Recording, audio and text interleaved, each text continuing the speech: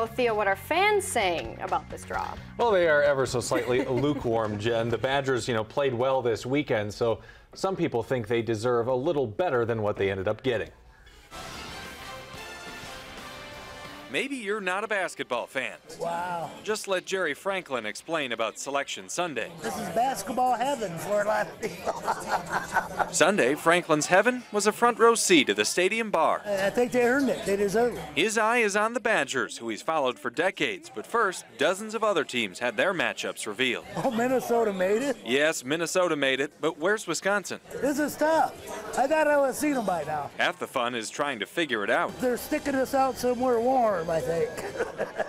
For fans who are traveling, warm may not be all that great. There were eight possible destinations for the Badgers. Flights ranged from 486 bucks to Austin, Texas, to 905 round trip to San Jose, California. Badger fans are everywhere. Jerry Franklin won't be going, saying home is the best place to yell a few choice words. Where's Bucky? But he cares just the same. All right, that'd be a four. We'll take a five.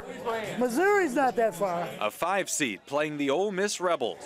Oh, that's not good. For fans of Badger basketball, We got a tough first game. heaven is on the move to Kansas City. You can drive to Kansas City.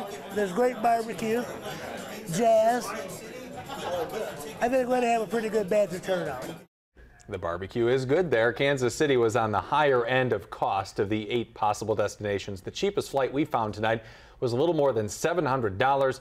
If you don't mind the eight-hour drive, that'll take about 500 bucks off the travel cost to just drive there instead. Another thing irking some fans today is that a possible second-round opponent would be Kansas State, and their home of Manhattan, Kansas, is less than two hours from KC, while we've got that eight-hour commute. There are very dedicated fans here, so I'm going to bet they're going to be very willing to make the drive and maybe spend the extra For sure, bucks. plenty of red in the crowd in KC. All right, Theo, thanks. yeah, no problem.